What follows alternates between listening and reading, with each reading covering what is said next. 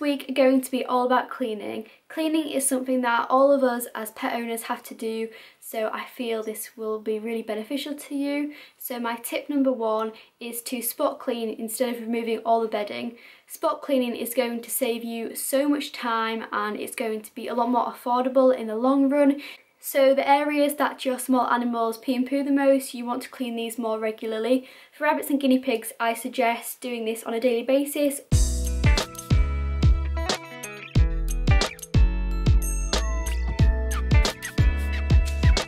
And for smaller animals like hamsters and gerbils, you can use a sandbox.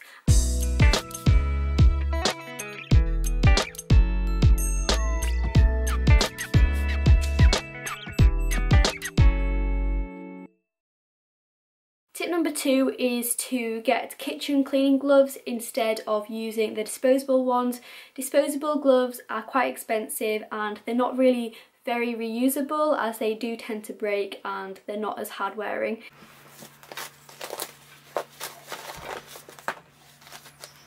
So I highly suggest you try and use the kitchen gloves. They're also great for keeping your hands a lot warmer in the colder season.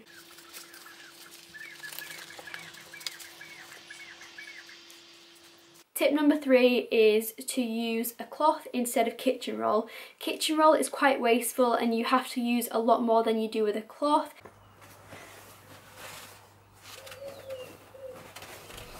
It's also not reusable to use kitchen roll, so using a cloth is going to be much more effective and also save you money.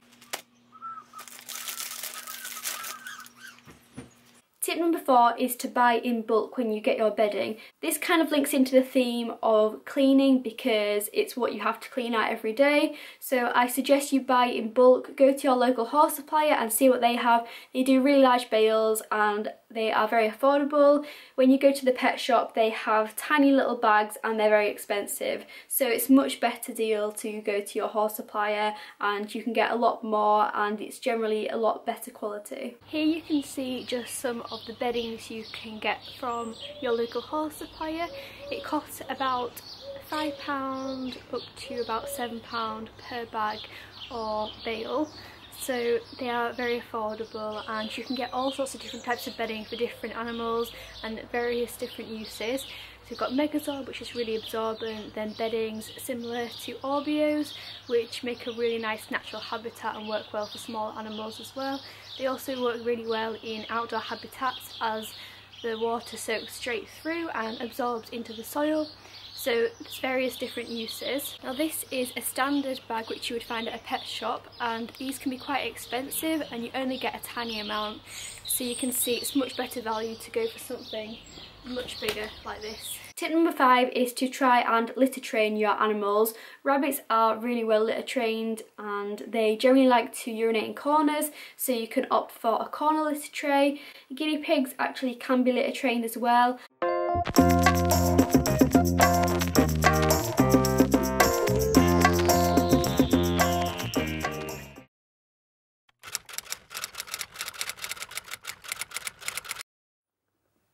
Item is meant to be the top of an IKEA chair or just any chair but if you turn it on its side it makes a really really good hidey house for rabbits and guinea pigs.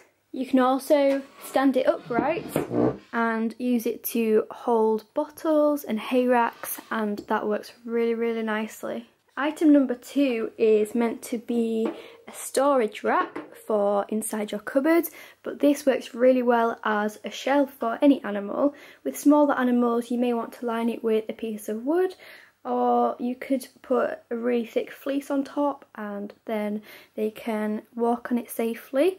So this works really really great. The guinea pigs love to hide under it and jump on top of it and it would also work really well for small animals too. Pine cones also work so well for any small animals. You can hide treats in them, they can chew on them and they can play with them. You can make them into all sorts of different toys. So all you need to do is sanitize them in the oven. Final item this week is wooden logs. Wooden logs are so good for creating a natural habitat and they make it really interesting. They're a great enrichment for small animals and you can get them on a bigger scale to use for rabbits and guinea pigs but these ones work really well for hamsters and gerbils and they are just really fun. They make their enclosure look really nice and natural and you can just use the ones that you have to go in your log burner.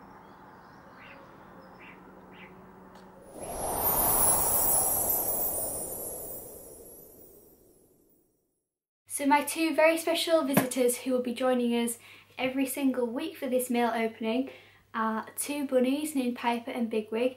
They might be a bit nervous but Piper's very inquisitive so I'm sure she's going to come running straight out. Hello.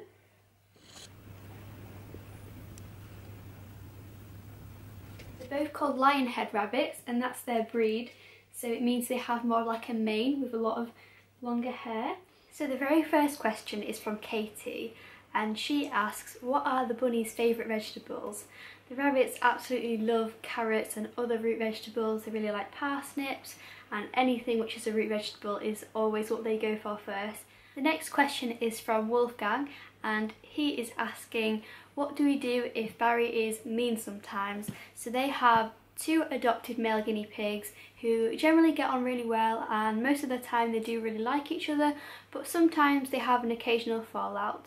And I think it's important to remember that when you have two guinea pigs together, often one of them is going to be a little bit more dominant than the other and this is what they do to establish a hierarchy.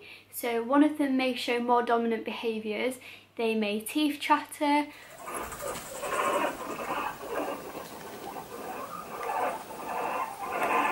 so make a really loud grinding noise with their teeth. That's just their way of communicating and trying to show they are more dominant.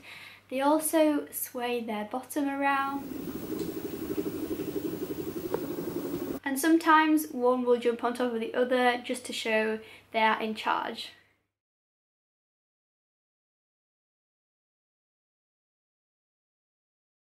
If the guinea pigs are fighting really badly, so they get very injured, if they if blood is drawn, then that is a little bit more serious.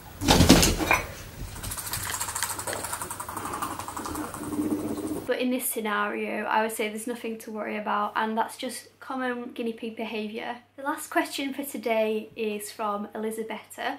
Now she has four female guinea pigs who all live together and they live in two cages which are four grids by two grids. Now the grid measurement is quite common in the guinea pig world because a lot of owners keep their guinea pigs in what we call CNC cages. The dimensions of 2 by 4 is about 120 by 60 centimetres which is the minimum for two guinea pigs. So I'm about to show you what 120 by 60 centimetres looks like. So 120 is this long and 60 centimetres is this wide. So if you have two of these joined together then you have four guinea pigs living together. This fits the minimum dimensions so is a suitable size.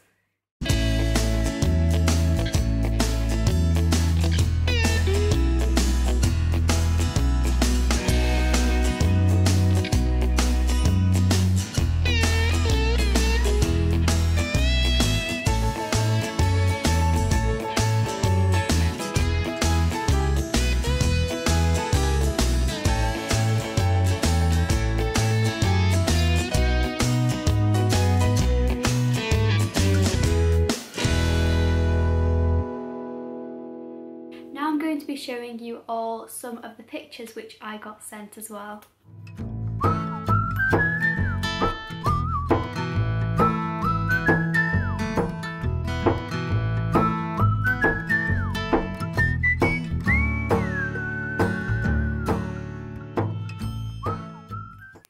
For a chance to be featured in the next video, you can send your pet pictures to petspalacetv at gmail.com. You can find that right here. Also feel free to send your questions, so don't forget to include your first name and your pet's name as well.